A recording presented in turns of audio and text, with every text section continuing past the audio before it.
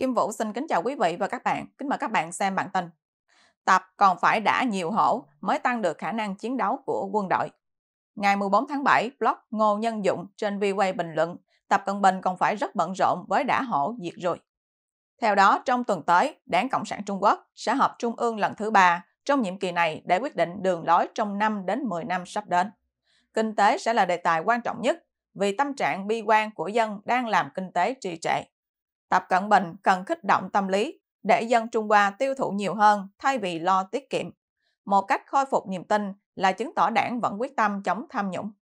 Và đây là hình bài trên blog Ngô Nhân Dụng VOA. Tác giả đề cập đến vụ khai trừ ra khỏi đảng hai cựu Bộ trưởng Quốc phòng Lý Thượng Phúc và Ngụy Phượng Hòa cho phép mở các cuộc điều tra và truy tố. Các vụ bắt bớ trên cho thấy kế hoạch trấn an dân chúng của Tập Cận Bình vẫn còn bận rộn. Tác giả bình luận, cả hai vị bộ trưởng này đều được Tập Cận Bình phong nhậm, nhưng Tập có vẻ không biết gì về các hành vi tồi bại suốt nhiều năm của họ. Điều đó chứng tỏ các ban thanh tra, kỷ luật của đảng không biết hoặc biết mà không nói.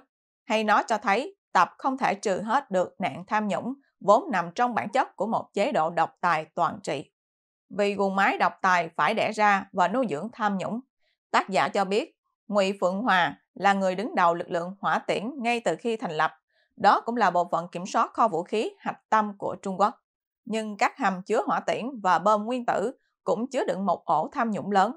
Từ giữa năm 2023, ít nhất 70 sĩ quan chỉ huy đã lần lượt biến mất mà không nêu lý do.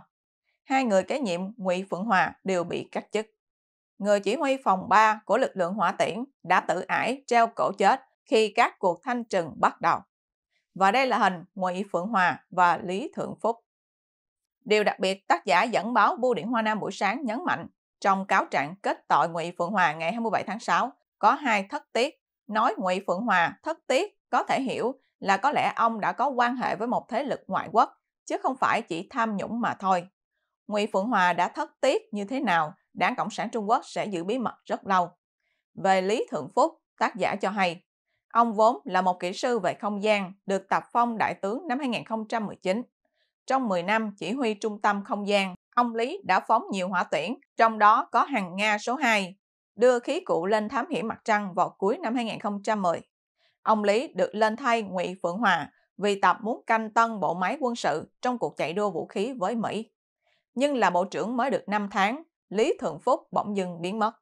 Lý biến mất cùng thời gian, Bộ trưởng Ngoại giao Trung Cộng Tần Cương cũng mất tích. Vắng mặt hàng tháng trời, về lý do sức khỏe mà không biết trị bệnh ở đâu. Hai tháng sau, bản tin Lý Thượng Phúc bị cách chức mới được công bố. Lý chiếm kỷ lục là vị Bộ trưởng Quốc phòng ngồi ghế trong thời gian ngắn nhất. Tác giả nhận định, công bố việc khai trừ hai cựu Bộ trưởng Quốc phòng trong cùng một ngày là chuyện xảy ra lần đầu tiên trong lịch sử Trung Quốc. Chứng tỏ Tập muốn dân Trung Hoa biết mình vẫn tích cực chống tham nhũng. Và đây là hình lãnh đạo tối cao của Trung Cộng, Tập Cận Bình. Đảng Cộng sản Trung Quốc là khu rừng nuôi nhiều hổ. Sau 12 năm, Tập vẫn chưa đã hết được.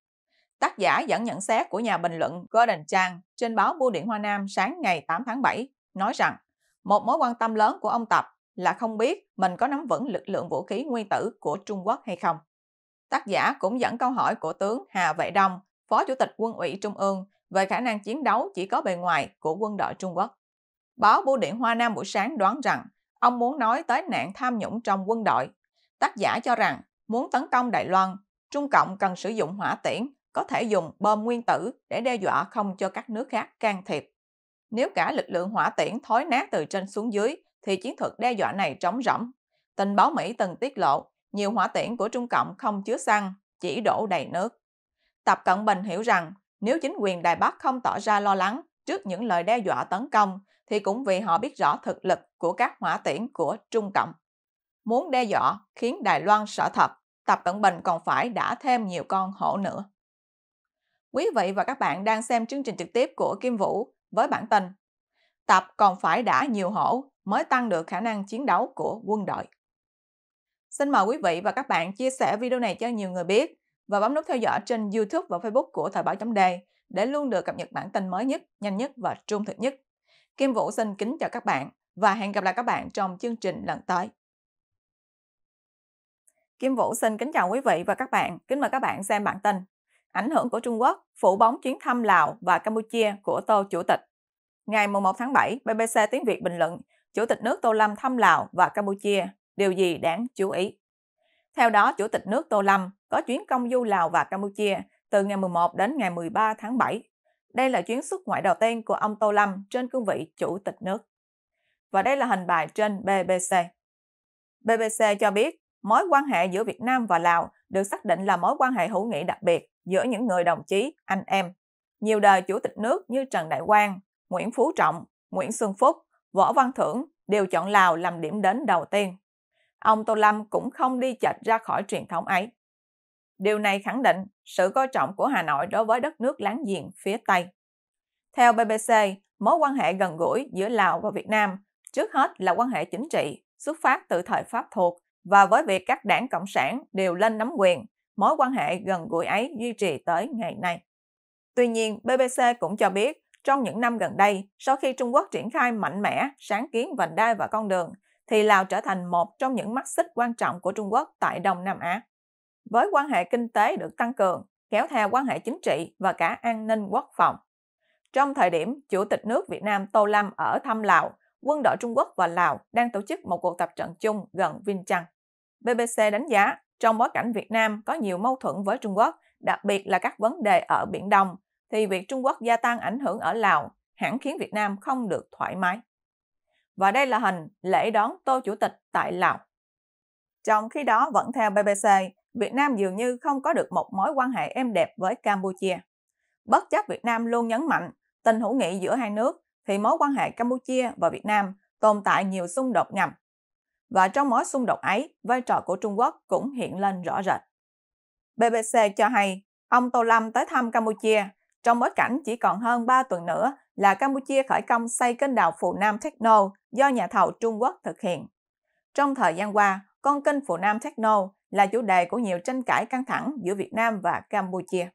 Theo đó, BBC cũng cho hay, Bộ Ngoại giao Việt Nam đã liên tục lên tiếng đề nghị Campuchia công khai đầy đủ thông tin để có thể đánh giá các tác động môi trường trước khi khởi công. Trong khi đó, cựu Thủ tướng Hun Sen và con trai của ông là Thủ tướng Hun Manet liên tục khẳng định đây là chuyện nội bộ của Campuchia, do đó nước này không có nghĩa vụ công bố với bên nào cả.